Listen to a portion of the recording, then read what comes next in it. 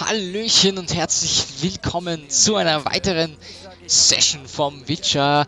Immer noch natürlich der erste Teil, wir bleiben treu dran, bis wir den durchhaben und starten nicht vorher schon mit dem dritten. Ähm, oder sogar mit dem zweiten, der ja auch Haus steht. Der Grund nur kurz, warum ich eigentlich den dritten Teil, den ersten Teil vom Witcher spiele, anstatt den dritten Teil, ist einfach, obwohl der schon zu Hause liegt, ist einfach, dass ich äh, es ist ja möglich, Spielstände vom zweiten in den dritten zu importieren. Und das bringt zwar nicht allzu viel, habe ich mitbekommen, also habe ich gehört. Aber ich denke mir einfach, wenn ich schon die Möglichkeit habe, den ersten Teil geschenkt bekommen habe, den zweiten Teil geschenkt bekommen habe, dachte ich mir, ich kaufe mir den dritten Teil. Und wenn ich schon die beiden Teile auch noch habe, spiele ich die einfach auch nochmal ganz einfach nur noch kurz zur Info für neue Zuschauer oder auch für alte Zuschauer, die es vielleicht vergessen haben oder auch für mich einfach, um das Video zu strecken. ähm, ja, wie gesagt, ich spiele jetzt diese einfach durch, dann kann ich den, vom, kann ich den Speicherstand vom ersten Teil in den zweiten importieren, habe somit auch Entscheidungen drin und kann dann den, den Speicherstand vom zweiten in den dritten importieren. Das wird so wahrscheinlich so ungefähr drei Jahre dauern, bis wir dann endlich mit dem dritten Teil durch sind. Ähm, ja, weil der erste dauert jetzt schon, dauert jetzt schon fast drei, vier Jahre, soweit ich das heute gesehen habe. Und hm, der zweite, naja. Gut, ähm, wird wahrscheinlich auch nicht viel kürzer sein, beziehungsweise der dritte auch nicht. Ähm, ich versuche das aber dann ein bisschen zu beschleunigen, die, den zweiten Teil, beziehungsweise auch den, den ersten jetzt noch, kommt davon, wie lange er noch läuft, aber da, dazu später mehr. Gut, wir haben in der letzten Aufnahmesession, ich weiß es nicht, sehr, sehr lange gespielt, deswegen weiß ich auch nicht mehr, was wir alles getan haben. Ähm, ich habe gerade gesehen, ich hatte schon über zwei Minuten fast. Äh, kurze Info, da gab es einen Werwolf, Vincent, ja. Er ist ein Werwolf. Ähm, wir haben versucht, ihn zu retten. Das funktioniert aber mit dem Hemd aus 100 Petersilie nicht. Jetzt müssen wir natürlich noch irgendwas finden. Irgendwo habe ich noch als kurze Info irgendwo, dass, dass wir letztens, glaube ich, noch... Warte, ich guck mal kurz, wie schön das Biest. Ich muss alle... Ja, genau. Der der Heiler in Druidenhain hat gesagt, dass, irgend, dass man einen Trank brauen kann. Dann würde ich sagen, schauen wir gleich doch als erstes... Uh, schauen wir doch als erstes gleich mal zu Kalkstein, der sich ja noch im Sumpf befindet. Ähm, weil der sollte eigentlich noch... Er sollte eigentlich so einen Trank brauen können, ne? So, zu Siegfried müssen wir auch noch, habe ich noch auch noch in der Quest gesehen. Den müssen wir für irgendwas überreden. Ich glaube für irgendwas, was Leuwarden braucht. Aber übrigens ein schönes Schwert hier runterhängen, ne? Ähm. Das haben wir irgendwann mal geholt. Ich weiß es nicht, wegen dem Gegner haben wir das mitgenommen. So, jetzt ist nur die Frage, Kalkstein. Das Kalksteins Labor war da hinten. Das war jetzt natürlich der... Ja, da vorne ist Thaler, das ist das Kalkstein, ja. Shani ist übrigens noch für alle, die es nicht wissen, böse auf uns. Die wird auch wahrscheinlich nicht mehr gut, also nett zu uns werden. Ah, Nase juckt. Gerade zum Let's Play angefangen und dann juckt die Nase. Das kann ich unbedingt brauchen. Shani wird auf jeden Fall nicht mehr lieb zu uns sein. Das hörte sich jetzt nicht sehr freundlich an, deinem Keller. Hui, so. Dann benutzen wir mal schnell den Teleporter in den Sumpf. Da können wir gleich mal Kalkstein befragen. Der wird ja wahrscheinlich was gegen für den Trank haben. Ich meine, das wäre der einzige Alchemist, den wir fragen können. Ich habe zwar noch immer keine Ahnung, was Kalkstein hier eigentlich macht die ganze Zeit, aber er scheint glücklich darüber zu sein. Und er legt ab und zu immer Geld rein. Das finde ich super. Da gibt es noch eine Truhe. Haben wir sowas? Nee, haben wir nicht. Naja, ich, ich nehme es trotzdem mit. Was schadet ja nicht. Auch das kann ich mitnehmen. Kann ich später verwenden. So, hallo Kalkstein. Ja.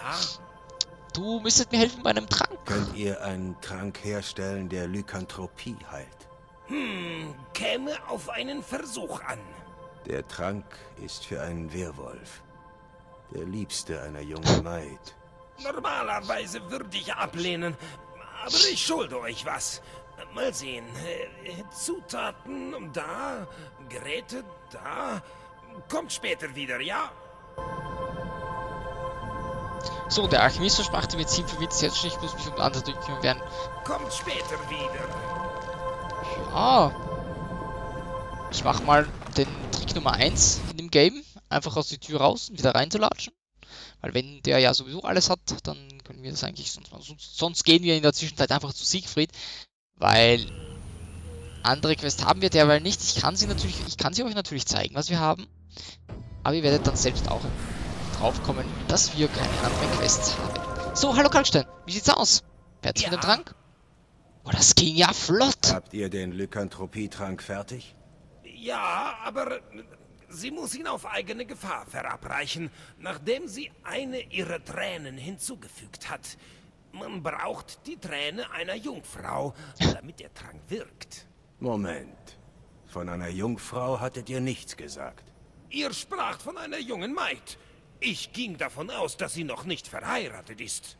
Ach, Kalkstein. Ihr müsst mal unter die Leute gehen. Wo soll ich bloß eine Jungfrau finden? Die Träne einer Jungfrau ist unverzichtbar. Es kann doch nicht so schwer sein, eine zu finden.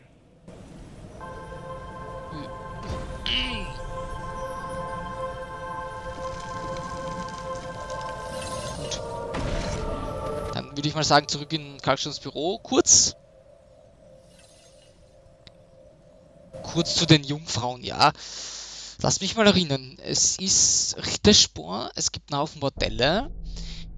Ähm, da ist auf jeden Fall keine Jungfrau mehr dabei.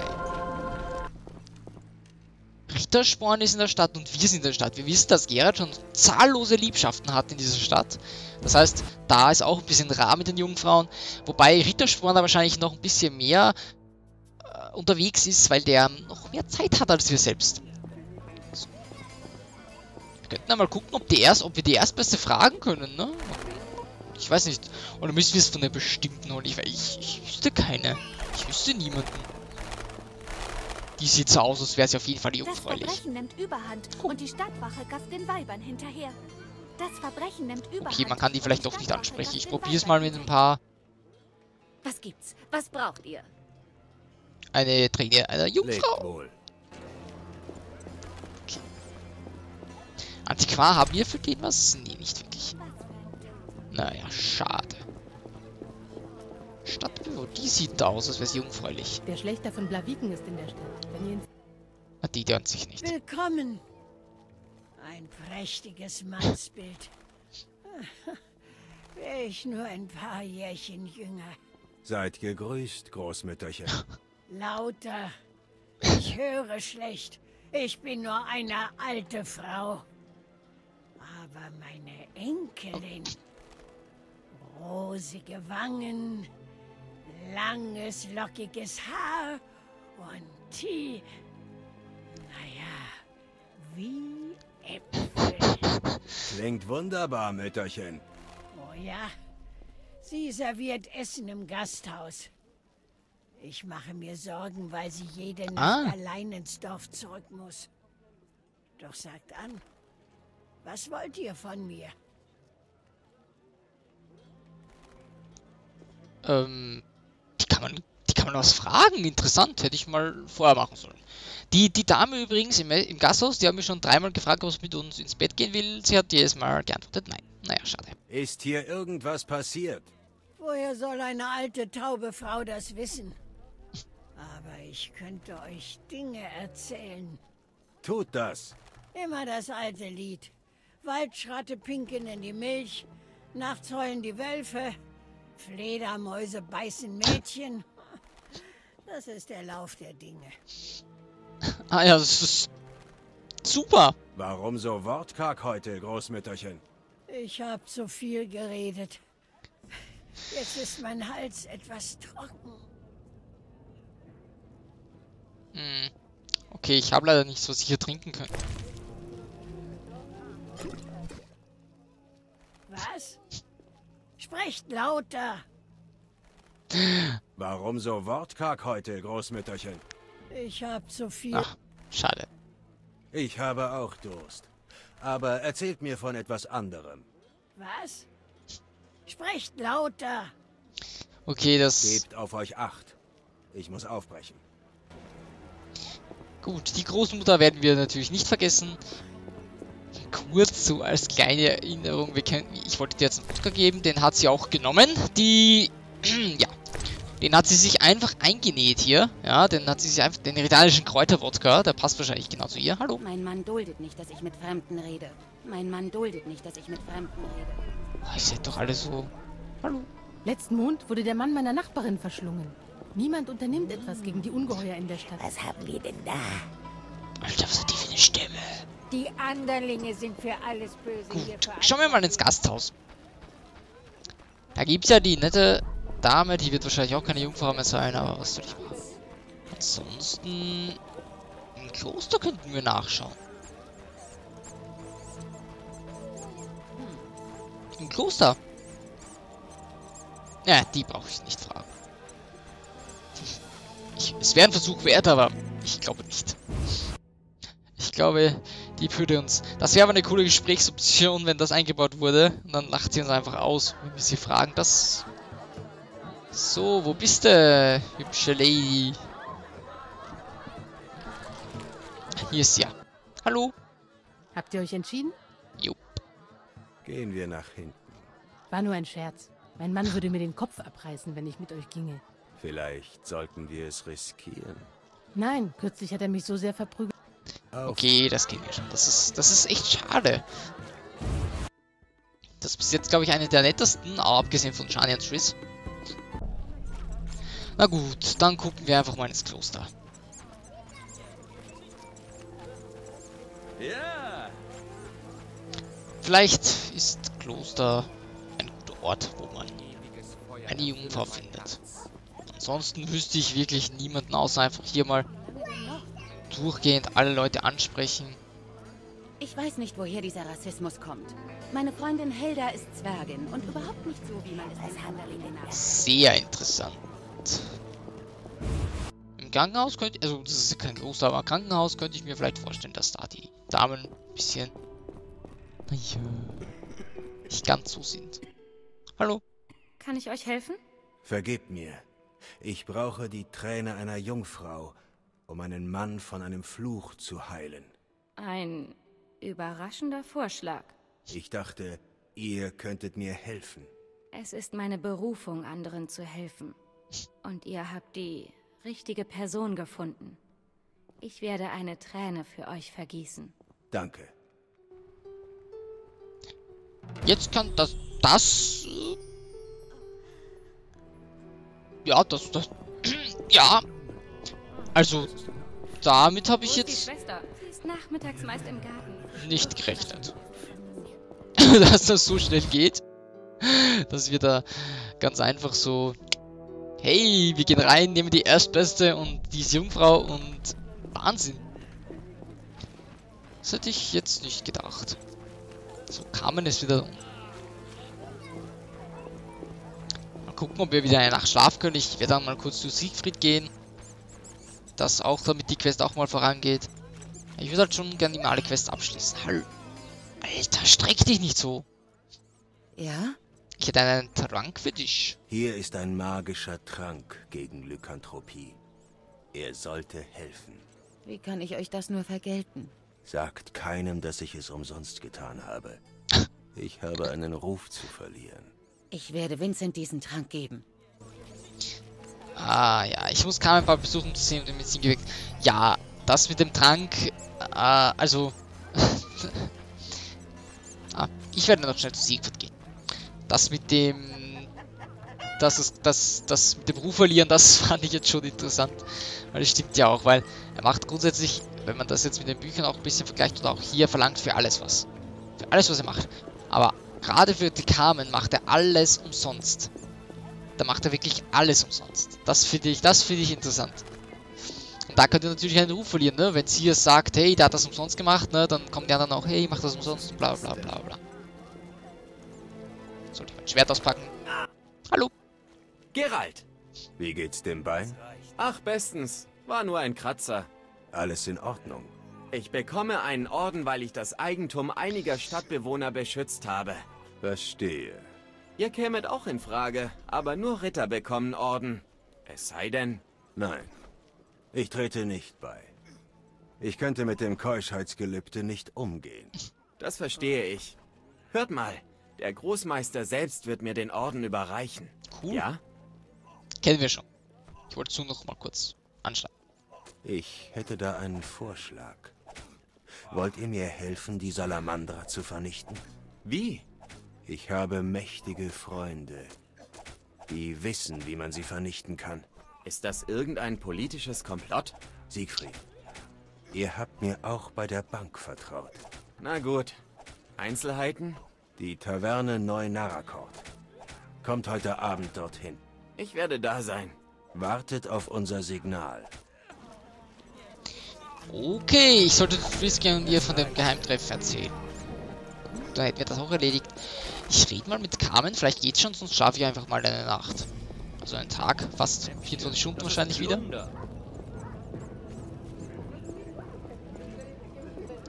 Kann ich mit dem Typ eigentlich schon reden?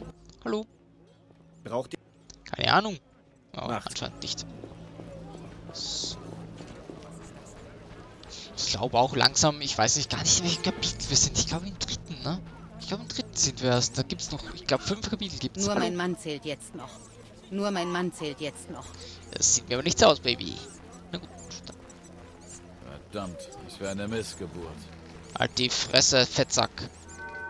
So, einmal bis zum Morgengrauen schlafen, das sind 21 Stunden. Wow, wir waren verdammte drei Stunden wach, weil wir, bevor wir das Let's Play beendet haben, haben wir auch geschlafen. Das heißt, wir waren jetzt genau drei Stunden wach, dann haben wir uns mal hingelegt, aber das, was Gerald alles macht, das geht schon.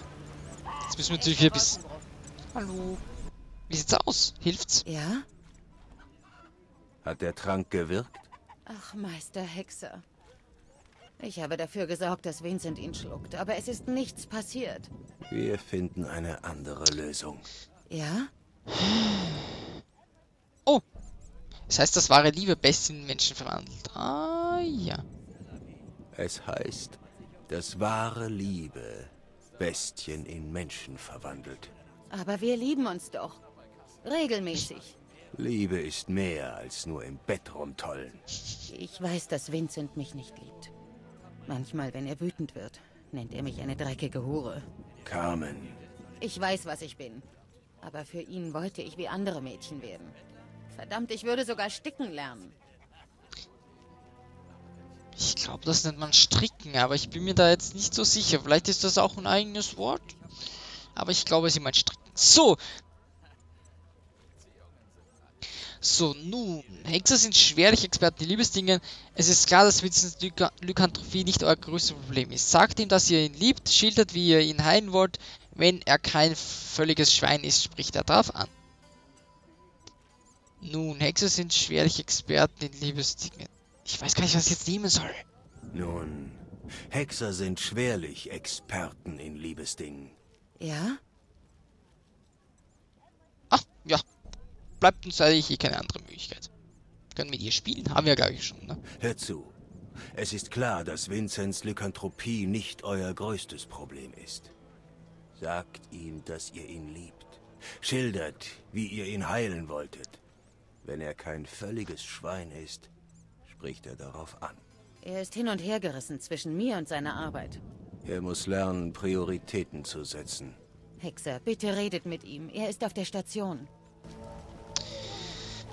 Na gut, ich muss alle bekannten Methoden dafür ausprobieren. Ich muss sicher sein, ich muss die letzte Methode ausprobieren, weil Liebe Carmen behauptet, okay, dann killen wir uns die Quest mal schnell, damit ich weiß, wo die, wo die Station eigentlich ist.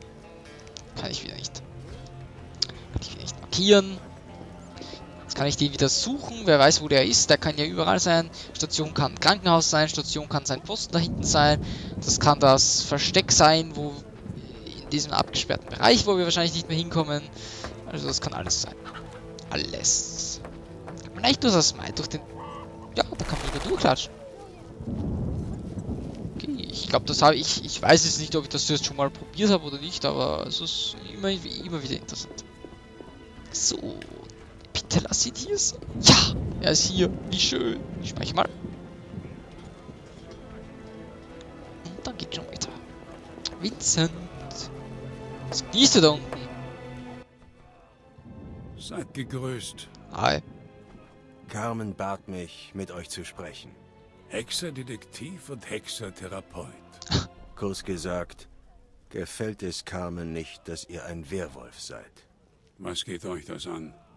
Das liegt nicht in meiner Hand. Ich kann den Fluch von euch nehmen. Aber ihr müsst es wollen. Wollt ihr euer Leben mit Carmen teilen? Hexe,